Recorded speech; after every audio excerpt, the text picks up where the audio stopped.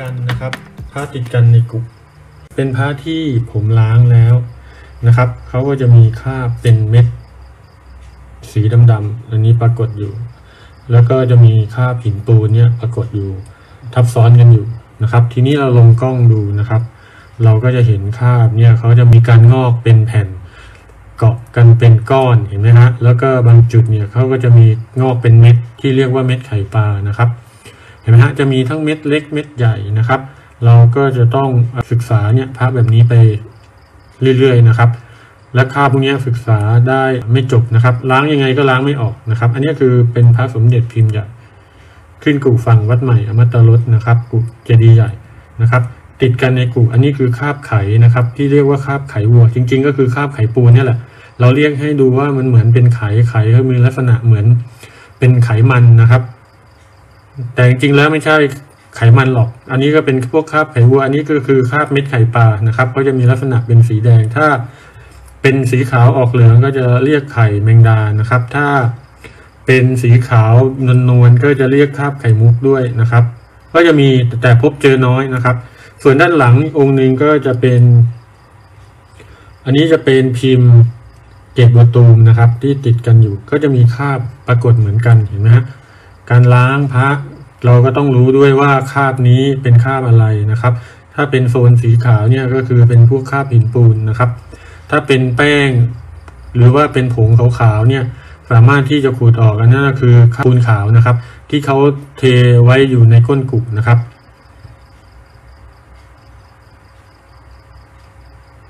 เห็นไหมฮะเราก็จะให้ทุกคนดูความเก่าของพระนะครับ คาบที่เขาแช่อยู่ในน้ำนะครับ ผ้าติดกันส่วนใหญ่จะถูกแช่อยู่ในน้ำและน้ำเนี่ยเป็นตัวเชื่อมพระสององค์ให้ติดกันนะครับ ถ้าเขาอยู่บนที่แห้งเนี่ยเขาจะติดกันยากนะครับเขาจะติดกันหรือเกาะกันแบบหลวมๆนะครับ แต่ถ้าเขาแช่อยู่ในน้ำหรือมีน้ำท่วมขังเนี่ยเขาจะเชื่อมต่อกันเลยนะฮะภาพพวกนี้นะครับเราก็สามารถที่จะแงะหรือแกะเขาออกได้ เพราะว่า ด้านหลังกับด้านหลังชนกันเนี่ย เวลาเราแกะเนี่ยมันก็จะทำให้ไม่เสียผิวอยู่นะครับ ทีนี้เราแกะเนี่ยเราก็แกะออกมา เราก็จะเจอเป็นคราบแบบนี้เห็นไหมฮะการแกะพระหรือว่าเราแกะเนี่ยเขาเขาไม่ได้ติดกันด้วยเราเอากาวไปติดเขาเห็นไหมฮะเดี๋ยวผมส่งให้ดูนะครับ อันนี้คือร่องรอยที่เขาติดเห็นไหมฮะอันนี้คือการงอกของเขาโดยตรงนะครับ เราไม่ได้เอากาวหรือว่าอะไรไปติด ถ้าเราเอากาวไปติดเนี่ย เราจะไม่เห็นค่าเป็นเม็ดเม็ดที่เขาติดกัน และตัวที่เชื่อมเนี่ยเขาจะเดินเป็นเส้นเห็นไหมฮะคล้ายกับแผงปะการังนะครับ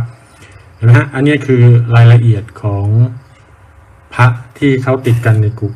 เห็นไหมครับ อันนี้เขาจะเดินเป็นเหมือนรอยปะการัง เห็นไหมครับ ถ้าทุกคนรู้แบบนี้แล้วนะครับ การเรียนรู้เนี่ยมันเหมือนกับทำให้ทุกคนได้เริ่มกระจ่างชัดเจนขึ้นนะครับ ผมก็ลงทุนในการแกะพระให้ทุกคนดูนะครับว่าพระติดกันเนี่ยมันไม่ได้ติดกันด้วยกาวนะครับ หรือว่าติดกันด้วย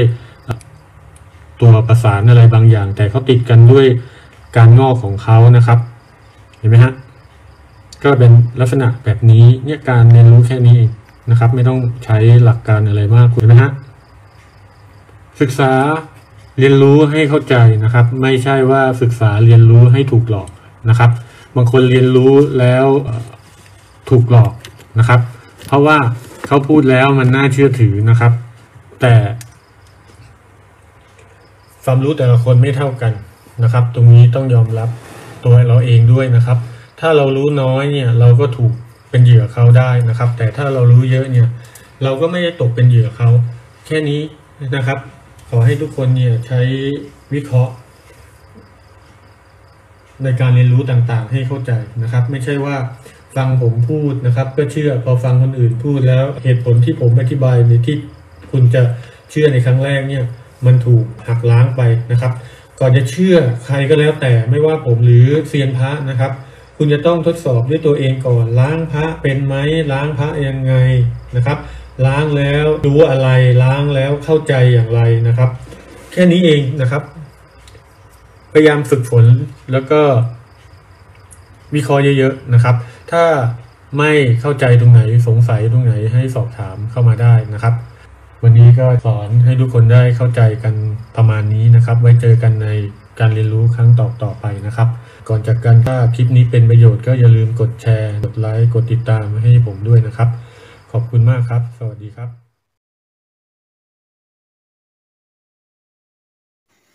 กดติดตามและกดกระดิ่ง ทั้งหมดเพื่อจะได้ไม่พลาดนะครับ